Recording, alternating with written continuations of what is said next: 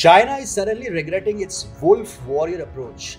After their regular diplomacy, medical diplomacy, and muscle flexing failed, China has flashed a giant poverty card.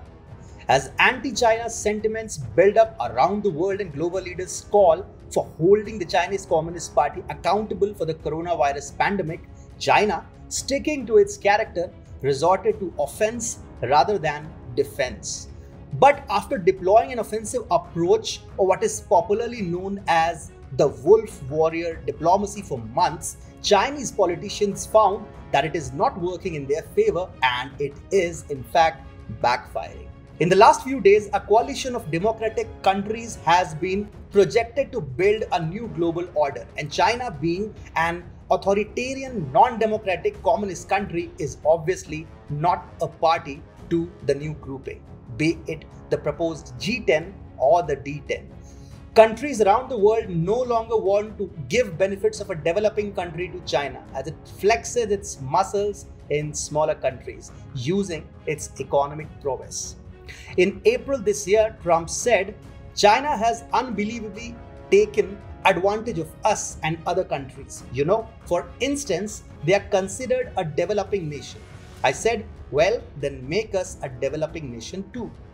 It is evident that wolf warrior diplomacy has failed and it has rather harmed Chinese interests.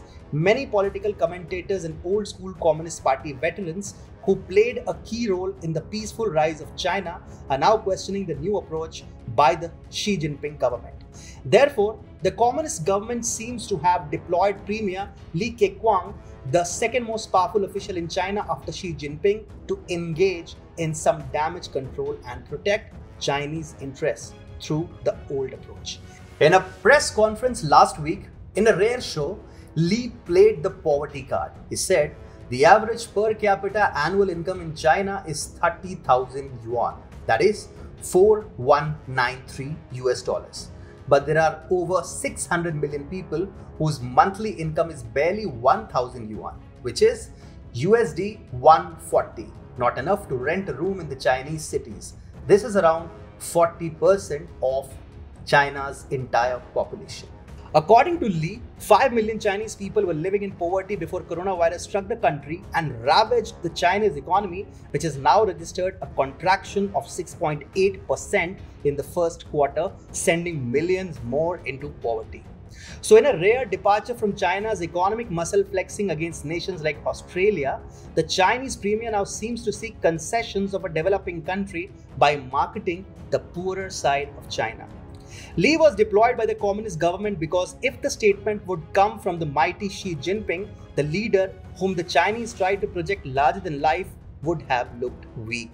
Therefore, after the failure of Xi Jinping's bad cop strategy, Li is playing good cop and trying to convince the world that China is still a poor country and seeks a peaceful rise to lift millions of people out of poverty. China is not a poor country per se, but given the very high income equality, millions of Chinese people do live in poverty. As per a paper published by the London School of Economics, the top 1% account for more than 40% of the total wealth in China, which is one of the highest in the world. And income inequality has started rising since Xi Jinping came to power in late 2012. China, despite being the second largest economy in the world with a GDP of $14 trillion in 2019, is home to one of the largest number of poor people in the world. The share of the top 1% in the total wealth of the nation has consistently risen ever since the country implemented economic reforms in 1978. Meanwhile, the share of the bottom 50% has come down from 28% to 14%.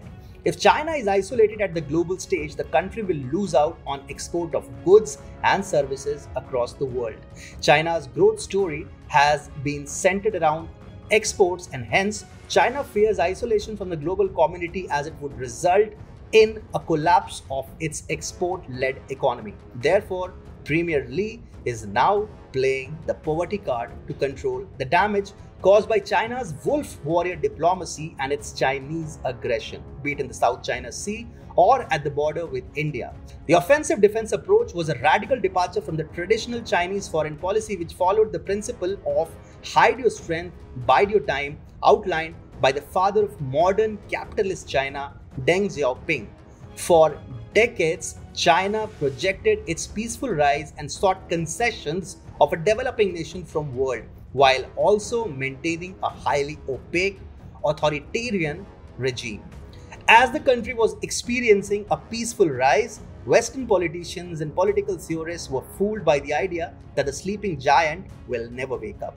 Given the failure of Xi Jinping's approach to reap any positive results at the global stage, it seems that China wants to go back to Deng's hide your strength philosophy.